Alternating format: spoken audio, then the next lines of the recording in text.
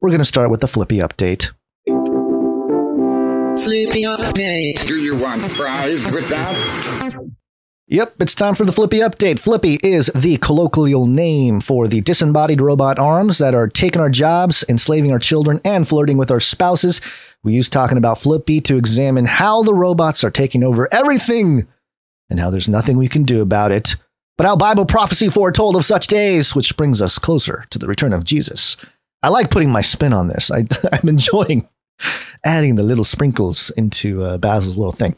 Uh, today, we have a story from spectrum.ieee.org. And I thought this was interesting because uh, we've done Flippy updates for years now. And it's rare that we talk about the origins of the, the robot arm. But this article came out on August 30th, 2020. So I thought I'd do a little rundown just to get a feel for where all of this started. And the headline here is In 1961, the first robot arm punched in. The era of industrial robots began with Unimate at a GM plant in Trenton. Mm-hmm. Here's what it says When they met at a cocktail party, 1956. Oh, 1956 cocktail party.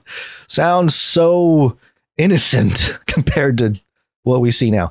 George Devol and Joseph Engelberger instantly bonded over their love of science fiction, happily chatting about Isaac Asimov and his theories on robotics. Then the conversation turned more serious.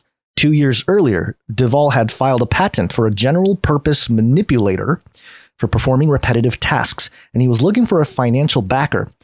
Engelberger was curious about how to apply flexible machines for factory automation. By the end of the evening, a plan was in motion that would change the world of manufacturing.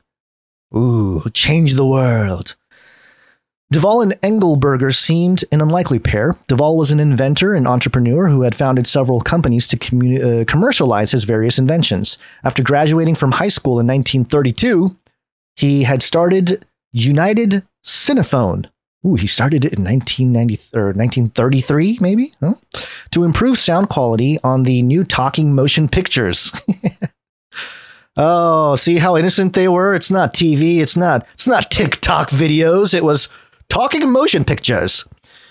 He uh, quickly moved on to other inventions, including the Phantom Doorman, an automated door opening system, a proximity controlled laundry press, the patent for which was withheld by the US government through World War II, and the Speedy Weenie, a vending machine that dispensed hot dogs cooked by microwaves. Wow, that Speedy Weenie. Meanwhile, Engelberger was pursuing a more traditional corporate career. He had earned a bachelor's degree in physics in 1946 and a master's in electrical engineering in 1949, both from Columbia University. When he met Devol, he was working as an engineer for Manning, Maxwell, and Moore, a company that specialized in safety valves, pressure ga- gauges, and other industrial control equipment. But that soon changed. Man, they're really good with these like last sentences that are so dramatic. Shortly after the cocktail party, the two men founded Unimation. Hold on he's at a cocktail party and he's just graduated high school. He either graduated high school late or there was no, I mean, I guess different time. Uh, so yes, after the cocktail party, the two men fo- founded Unimation. The name a wait, wait, wait, wait, wait the name uh, portmont, uh, portmanteau of Universal and Automation, which Devol had coined when filing his patent.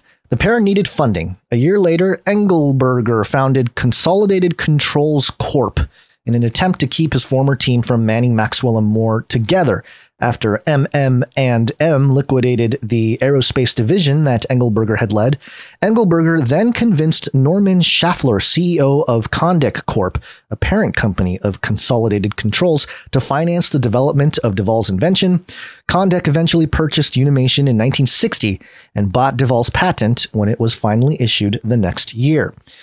While Devol's patent was pending, a team of six men set out to turn his idea into a reality. They decidedly, uh, they decided initially to build the mechanical arm with five degrees of freedom. This later evolved into a six-axis machine. I wonder if it had six fingers too, uh, that emulated the human shoulder, elbow, and wrist. Yeah, probably not. Uh, it had a self-contained hydraulic supply operating at 6.9 megapascals thousand pounds per square inch. The men had to invent both the programming controls and memory systems, as well as the digital optical encoders for determining shaft position. Uh, weighing in at about 1,360 kilograms, that's about 3,000 pounds. The prototype was a beast, but it could pick up parts of up to 100 pounds. Later models could handle objects five times as heavy. The Unimate was both squatter and squatter and wider than the average worker, meaning 1.6 meters high, 1.2 meters wide, and 1.5 meters deep. And it shows a video here from the Henry Ford in Dearborn, Michigan. And I, I gotta tell you, the the uh, the robot arm is uh, pretty pretty remarkable when you consider where we are today. The Unimation is uh, just a ginormous arm thing that it does look like it's from the 60s. So, yeah, no surprises. But uh, you, you, there's some photos of it in action. But uh, yeah, this thing was dangerous, I'm sure. It, it, could take out an entire an entire kitchen of people if this was the Flippy in the kitchens now. The, now it's much more sleek, it's smaller, its uh, its range of motion isn't as intense. But uh, yeah, clearly they had a lot of this figured out by the 1960s. The article continues Although programmable, the original Unimate did not have a programming language. Instead, the user would move the machine head to the desired location and a position detector would record the spot.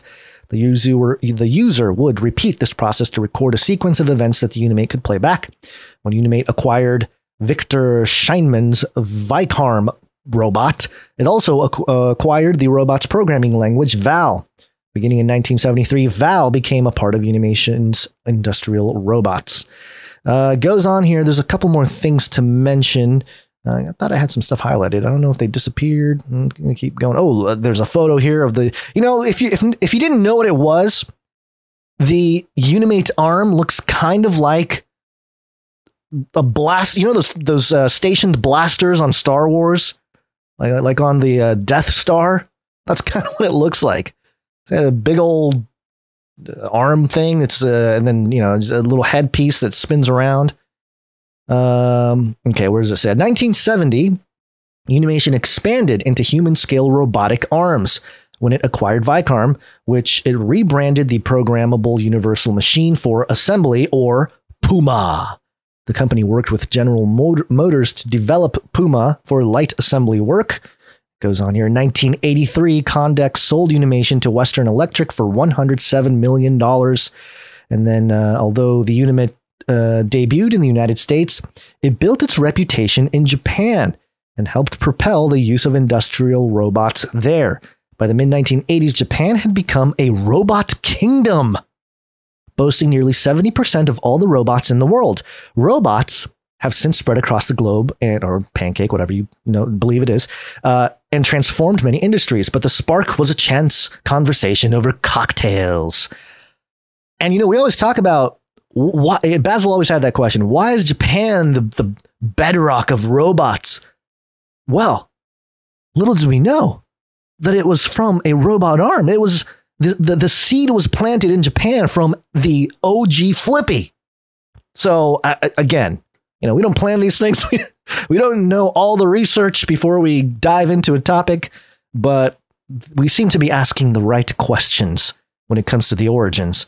Uh, and there's a photo here of Joseph Engelberger and George Devol, the two who started the the or you know the vision of the robot arm and made it a reality.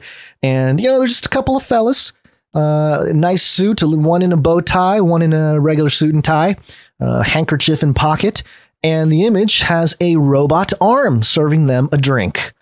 And uh, just very indicative of the the source, the origin of all of this. Uh, it's pretty wild to think that it's just uh, over cocktail, uh, over you know, just just in a bar where the best ideas are sparked, I guess, but not everybody executes on, right?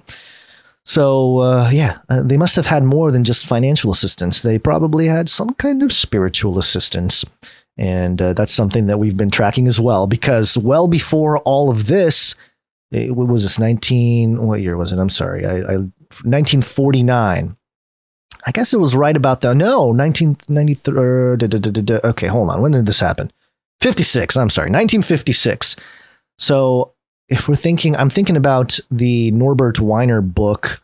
Um, oh gosh, what was it called? Can't remember off the top of my head. I'm gonna have to look it up. But Norbert Wiener, he is considered the father of cybernetics, and he was writing around that same time, talking about automation and loops and everything else. Yeah, so he was born in 1894 and he passed away in 1964. So let's see, Norbert Wiener, The Human Use of Human Beings, Cybernetics. Is that his first book? Yeah, I don't have it all in front of me here. But uh, let's see. Let me try to find it. Uh, da, da, da, that says 1980. That must be a republish. Anyway, uh, oh, yes, this is the one that was really interesting by Norbert Wiener, especially the cover. Um, the, the, the book is titled God and Golem Inc. A comment on certain points where cybernetics. I can't read the rest of that title. oh man, 1966. So okay, uh, uh, after the fact, after the meeting took place.